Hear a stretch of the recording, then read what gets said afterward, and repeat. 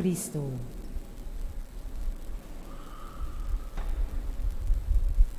sa karaniwang pang-araw-araw nating buhay. Halos lahat ng ating ginagawa o ugnayan sa isa't isa ay nakabatay o nakasalalay sa pagtitiwala. Most of our waking hours is based on trust, on faith. Halimbawa po, kahit hindi mo laging kasama ang iyong misis o mister, meron kang pagtitiwala sa kanya na siya ay tapat sa iyo at hindi nagluluko. Kapag sumakay ka sa jeep o bus o eroplano, meron kang pagtitiwala sa driver o piloto na makakarating ka sa iyong patutunguhan. Kapag uh, pumunta ka sa iyong doktor, meron kang tiwala sa kanya na meron siyang kakayahang pagalingin ka. At uh, kung meron kang uh, kaso, ay isangguni mo sa isang abogado, meron kang paniniwala o pagtitiwala sa kanya na may panalo niya ang iyong kaso. Sa panahon ng pandemya, meron din po tayong pagtitiwala sa mga bakuna na may bisa. Yung wala, hindi po nagtitiwala ay hindi po sila nagpapabakuna. Kagabi, nung tayo'y natulog, meron tayong pagtitiwala sa Diyos na tayo'y magigising ngayong umaga walang siyento porsyento na katiyakan pero meron tayong pagtitiwala. Meron tayong pagtitiwala sa guro na may kakayan siyang magturo sa iyo. O ngayong panahon ng kampanya sa eleksyon, ibinubuto natin o pinipili natin yung kandidato na meron tayong pagtitiwala sa kanya. Mga kapatid, ang uh, tema po ng ating ebanghelyo ngayong umaga ay pagtitiwala. Sapagkat sa ating ebanghelyo, meron pong mga pangyayari na tila bagang imposible. Unang-una, na ang Diyos ay maging tao sa magitan ng kanyang anak na sanggol ng pangalan ay Emmanuel o Jesus na ang ating kaligtasan ay nakasalalay lamang sa pagtugon ng isang dalagita sa pananalita ng isang anghel sa kanya na magbubuntis ng isang birhen na walang relasyon sa isang lalaki. Paano po ba yon? at uh, magbubuntis din ng isang babae na napakatanda na at hindi lang matanda, siya'y baog pa. Si Maria, mga kapatid, ang ehemplo natin sa pananampalataya sa Diyos. Sapagkat sa ating ibanghelyo, sabi ng Anghel Gabriel, matuwa ka ikaw ay kalugod-lugod sa Diyos. Sumasa iyo ang Panginoon. Ikaw ay maglilihi at manganganak ng isang lalaki at siya ay tatawaging Jesus. Magiging dakila siya at tatawaging anak ng Diyos ng kataas-taasan. Magahari siya at ang kanyang kapangyarihan ay walang hanggan. Can you imagine a 17-year-old girl listening to the words of the angel Gabriel? Kahit sino, siya ay magugulumihanan. Hindi niya halos maintindihan kung ano ang ibig sabihin nito. Kaya sabi ni Maria, paano mangyayari ito? Ngayong ako'y dalaga. Pero ang sabi ng anghel, huwag kang matakot, Maria. Umasa ka, magtiwala ka. Bababa sa iyo ang Espiritu Santo at liliman ka ng kapangyarihan ng kataas-taasan. Kaya't banal ang ipanganganak mo at tatawaging anak ng Diyos. At alam ng lahat ng iyong pinsang si Elizabeth ay matanda na at baog pa. Ngunit naglihi siya sa kabila ng kanyang katandaan sapagkat walang hindi mapangyayari ng Diyos. Napakaganda po ang pananalita ng anghel. Huwag kang matakot, Maria. Tayong lahat ay huwag matakot sapagkat walang hindi mapangyayari ng Diyos. Nothing will be impossible for God. Kaya buong buo ang kalooban ni Maria na tumugon sa pananalita ng anghel at sabi niya, mangyayari sa akin ang iyong sinabi. Mga kapatid, si Maria ang ating parangalan. Siya ang modelo natin para sa ating lahat na mga binyagan. Hindi niya naintindihan ang kabuuan, pero nagtiwala. Sa dasal ni San Anselmo, sabi niya, Panginoon, bigyan mo po ako ng sapat na pagtitiwala upang maintindihan ko at matatanggap ko ang mga pangyayari sa buhay ko. Unang-una po ang pagtitiwala. Hindi po natin lubos, siyento porsyento, na maintindihan ang lahat ng pangyayari sa ating buhay bakit ako'y nagkakasakit? Bakit napakarami ang problema sa buhay ko na aking pinapasan? Bakit parang tila bagang napakalayo ang Diyos? Bakit parang pinabayaan ako ng Diyos? Parang mas masaya ang buhay ng iba. Sa mensahe ng anghel sa ating inang birhen. Ito rin ang sinasabi ng Panginoong Diyos sa bawat isa sa atin. Huwag kang matakot. Do not be on the side of fear, but on the side of hope, because nothing will be impossible for God. Paano ba tayo magtitiwala sa Diyos? O paano pa tayo magkakaroon ng pagtitiwala? How can we have trust in God or faith in God just like Mary? Unang-una, dapat nating malaman na ang Diyos ang unang magpapahiwatig. Dapat tayo'y magnilay-nilay. Dapat tayo'y tumahimik upang mapakinggan po natin ang buses ng Diyos dapat tayo'y magdasal. Pangalawa, bagamat tayo'y mga tao, mahina, marupok, makasalanan, ginagamit, ginagamit pa rin tayo ng Panginoong Diyos sa pagpapalaganap ng Kanyang kaharian. God can still use us as instruments, as channels of His grace.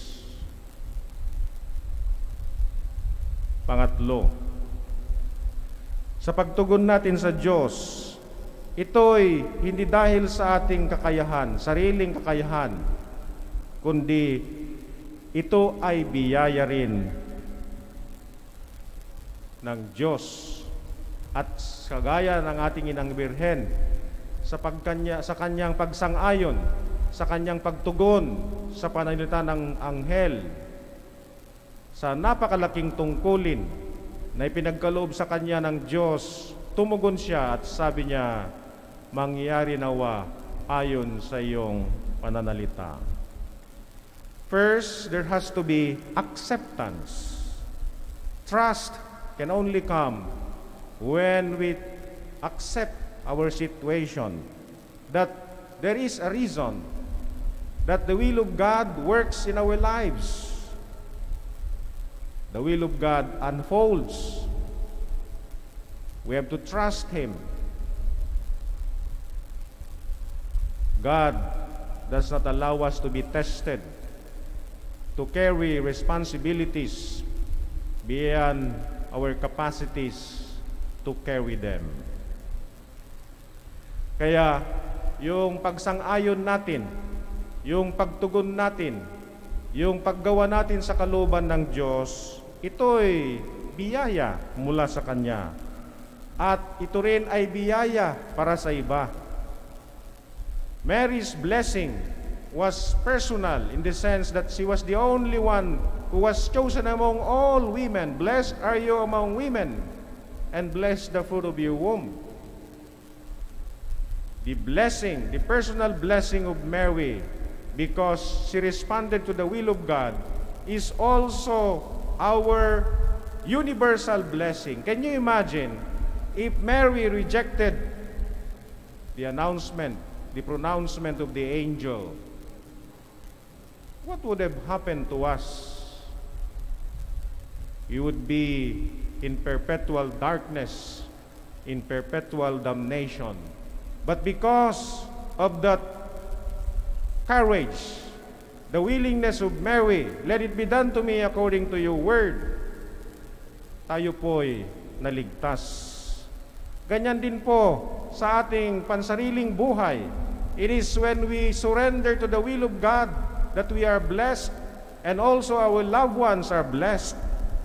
Ang isang tatay na gumagawa ng kanyang uh, tungkulin, a father who is faithful to his responsibilities is not only a personal blessing, but a blessing to his family. A mother, a sister, a brother, kung ikaw ay tapat sa iyong tungkulin, pangunahing gawain, sa opisina man, kahit saan man, ito ay hindi lang biyaya para sa iyo. It is not only a personal blessing, but a blessing, as it were, good news to others. Alam nyo, nung uh, Nagumpisa na ang public ministry ng ating Panginoon Kristo. One from the crowd said, Mapalad ang inang nagdalang tao sa iyo. Blessed is the woman that bore you in her womb and the breast that nursed you. But Jesus said, Blessed are those who believe in the Word of God and put it into practice. Ang bunga po ng pagtitiwala ay ang paggawa ng kalooban ng Diyos. Bakit po natin sundin ang kagustuhan o kalooban ng Diyos sa ating pang-araw-araw na buhay? Sapagkat yun po natin pinapakita ang ating pagtitiwala sa Kanya na meron pong mabuting kahinatnan ang ating pagpapakabait ang ating pagpapakabuti, na meron pong mabuting kahinatnan ang ating uh, pagsusumika, pagsasakripisyo, na gigising ng umaga upang makapagsamba sa misang ito. Na mas mabuting magtitiwala kaysa matakot Napaganda po ang isang pangyayari sa lumang tipan in the Old Testament. Alam niyo po si Moses, bago nila pasukin ang uh, lupang pangako, the promised land, pumili siya ng labindalawang mga lalaki mula sa labindalawang tribo ng Israel at sabi niya sa kanila, You go as a reconnaissance team parang mga espiya sa promised land upang malalaman natin kung ano ang naghihintay sa atin doon. Pumunta nga po sila. At bum, nung bumalik sila, sabi ng karamihan, Nako, ang mga tao po sa promised land, sa lumang pang, ah, sa pangako, na ipinangako sa atin ng Panginoong, Diyos ay na mga higante. Hindi po natin sila kaya. Tayo mga isang parang mga tipaklong lamang na walang kalaban-laban sa kanila. Kaya natakot na naman ang mga Israelita at sinisi sinisi nila si Moses, bakit nyo kami dinala dito? Mabuti na lamang sana na tumigil tayo at uh, hindi na umalis sa Ehipto. Ngayon, hindi po tayo nakakasiguro na makakapasok tayo sa lupang pangako sapagkat mga higante pa lang nakatira doon. It is true that it's a land of milk and honey. Pero paano natin masasakop yun kapag ang mga nakatira ay mga higante?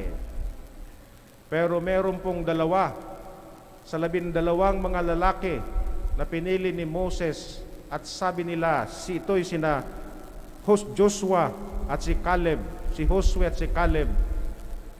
Bagamat ang mga tao doon ay mga malalakas, mga tila bagang mga higante, huwag nating pansinin ang ating pagkatakot.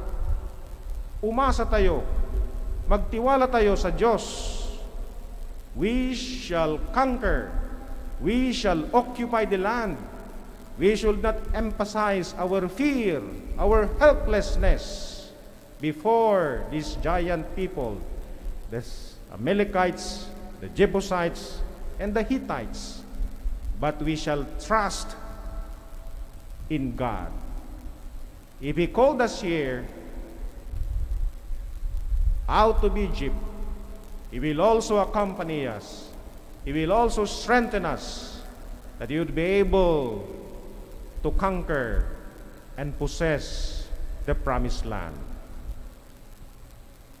Mga kapatid, yan po ang mensahe ng ating Ebanghelyo.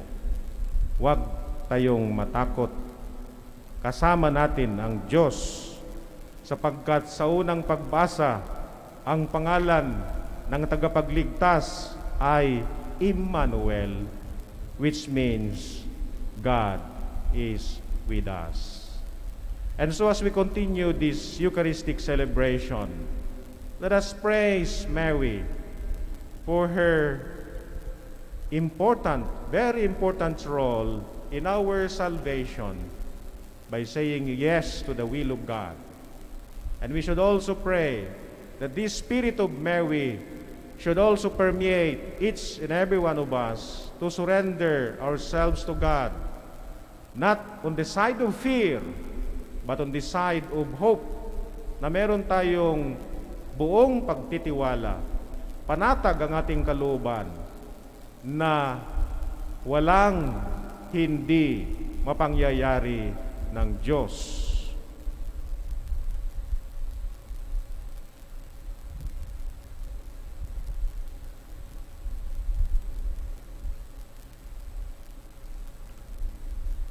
Magsitayo po tayong lahat.